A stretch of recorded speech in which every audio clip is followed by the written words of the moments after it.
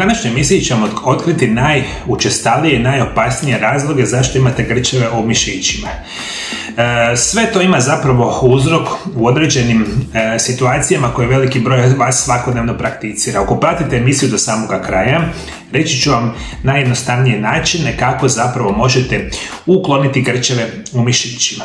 A što su zapravo grčevi u mišićima? To su nehotične kontrakcije jednog ili više mišića. Drugim riječima, tijekom grča u nozi, vratu i leđima. Mišići vam se grče i stežu, a da ih uopće ne pokušavate pomaknuti. Oni ostaju takvi neko vrijeme jer se ne mogu opustiti. U kratkovremenskom periodu mišići prestaju normalno dobivati krv i hranjive tvari. Živcice stežu i razina elektrolita u tijelu samome pada. I to u kratkim crtama što je zapravo e, sami grčevi. Što je prvi razlog zašto imate apsolutno grče, bit će izuzetno loša hrana koju jedete. Svo ono smeće koje svakodnevno konzumiramo kroz dućane, restorane, e, ne znam, e, i druge vrste načina koje mi enormno konzumiramo. Industrije prehrane su zadnjih 30 do 40 godina nama nametnule da mi jedemo ovo što danas jedemo. I nažalost, hrana koju mi danas konzumiraju izuzetno loše djeluje na naš organizam. Ono što možemo reći u vašem tijelu najčešće nedostaju bitni minerali i vitamini.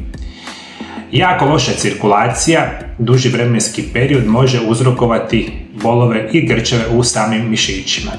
I ovo je posebno bitno za osobe recimo 40-50 godina i nadalje. Nažalost, mi danas živimo u vremenima kada izuzetno veliki broj osoba doživljava razno razne probleme kao i grčeve puno niže ajmo reći, manjim uh, godinama života nego što je bilo prije 30-40 godina. Jednu krasnu vijest, moji dragi gledatelji. E, moja druga knjiga, koja se naziva Čudesni prirodni lijekovi, uskoro dolazi u prodaju. Ova druga knjiga je direktan nastavak na onu prvu knjigu koja se naziva Isprekidani post, tajna zdravlja i dugovječnosti. U sljedećih nekoliko knjiga koji će doći u sljedeće dvije godine učit ću vas što su prirodni lijekovi, kako se sa prirodnim lijekovima sigurno i uspješno liječite od vaših bolesti i oboljenja. I čudesni prirodni lijekovi, prvi dio, uskoro dolazi u prodaju. Jedan od velikih razloga zašto imate grčeve u mišićima biti će lijekovi koji pijete svaki dan. Danas mi još uvijek nije jasno, nakon 25 godina rada sa pacijentima, zašto mi pijemo tolike količine lijekova da smo mi kontinuirano bolesti. Kada ste zadnji puta pitali vašega liječnika da li lijek koji pijete može uzrokovati grčeve? Kada ste zadnji puta pročitali nus pojava lijekova koje pijete? I onda imate grčeve u mišićima. Pa naravno da je to sasvim jednostavno jer lijekovi koji konzumirate imaju veliku količinu nus pojava. Ali ako moguće da neki od lijekova koji pijete uzrokuju grčeve u mišićima. Dakle, uzrok broj 2 koji morate voditi računa biti će lijekovi koje pijete zapravo svaki dan. Sidlački način života bez vježbanja može uzrokovati grčeve u mišićima. Pogotovo ako imate prekomjernu tjelesnu težinu. Mišići se mogu grčiti kada vam je unos tekućine nizak ili kada konzumirate diuretike koje povećavaju mokraње, uključujući alkohol, čak i nekakve biljne čarbe. To je zato što vaše tijelo ima samo toliko tekućine za cijeli organizam. A kad vam ponestaje dovoljno vode u tijelu i onda počnete doživljavati dehidraciju. Tekućina odrazi od samih mišića i vi onda posljedica dehidracije, možda lijekova, imate naravno grčeve u mišića. O to morate voditi računa. Dakle, treba vam vode, a treba vam bitni minerali i vitamine. Moji dragi gledatelji, ajde dole ispod video zapisa komentirajte što ste vi primijetili što vama uzrokuje grčeve i možda dajte nekakav prirodan način koji je pomogao svima vama riješiti grčeve. To samo pišete, komentirajte dolje ispod video zapisa. Puno osoba diljem svijeta i gledaju ove moje video zapise pa bi mogli možda nekome pomoći. Još jedna stvar što je interesantno izaziva grčeve. Biti će apsolutno prekomjerno vježbanje i kronični umor. I ukoliko ste jedna od tih osoba koji jako puno naporno recimo fizički radi, puno vježbate, nije čudno da možete dobivati krčeve u mišićima. Ono što možemo reći ukoliko imate bolesna leđa, posebno ako imate ozljedu leđene moždine, ili od nekog od živaca koji idu iz kralježnice možete dobiti grčeve u mišićima. to je nešto što ono ja jako često gledam u svojoj praksi, to je da osobe koji imaju bolesna leđa, da ja vam 20 nešto godina, dakle liječim pacijente sa bolesnim leđima, imate ozljedu leđa, ozljedu živaca, ozljedu leđne moždine, upravo oni živci koji idu prema nogama, prema rukama, mogu se kasnije početi razvijati u nekim simptomima kao što su sami grčevi. Dakle, bolesti leđa, leđne moždine i živaca su jedan od razloga zašto imate grčeve u mišićima. Grčevi su češći kod trudnica i kod e, osoba u predmenstruacijskom ciklusu.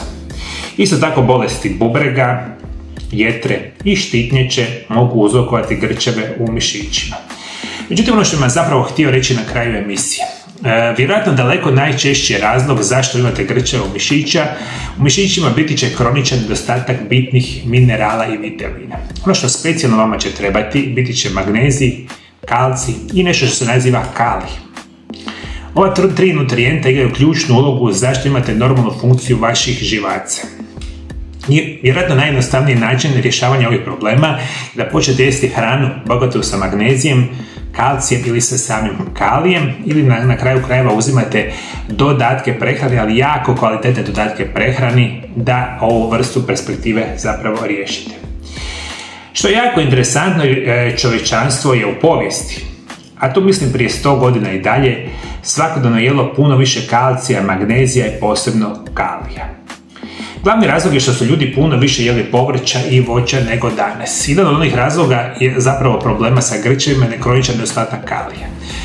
Znate kako mi danas e, trebamo kalija, moji dragi gledatelji? Trebamo ga oko 4700 mg kalija. A mi kalija nalazimo u najviše u namirnicama kao što su povrće, specijalno voće, a mi to danas najmanje jedemo. Mi jedemo i ono prerađenu, zapakiranu, pečenu hranu, sve ono što mi danas, ne znam, nađemo u dućanima, pekarama ili kako god, oni imaju zapravo nula nutrijenata. Mi ono najmanje što jedemo ono što bi trebalo zapravo najviše jesti to su povrće i voće, a ono bi u najvećem broju slučajeva, specijalno koje je organskog tipa, omogućilo vama puno dostatniji izvor magnezija, kalija i samoga kalcija. Zato su osobe prije 100-200 godina, oni su jednostavno morali i jeli su puno zdravije nego mi danas i praktično nisu bolovali od grčava u mišićima, a danas mi imamo praktično cijelo moderno čovječanstvo koje je osiromašena nutrijentima, idući lošu hranu, gutajući enormne količine lijekova, normalno da imate grčeve u mišićima. Moji dragi gledatelji, imam jednu veliku vijest za sve vas. Prezentacija moje knjige Isprekidani post tajna zdravlja i dugovječnosti će se dogoditi u Peču, u Austriji. 27.4. subota u 20 sati. Adresa prezentacije knjige i eventa će biti u Lunger Cityu, Gablenc 11. Cijena ulaznice je 15 eura i možete ju kupiti u Cepter shopu u Lunger Cityu od 9 do 21 sat radnim danom ili narudžbom na e-mail koji imate dolje ispod video zapisa. Da, moji dragi gledatelji, prezentacija knjige Moje druženje sa svima vama će biti u Beču 27.4.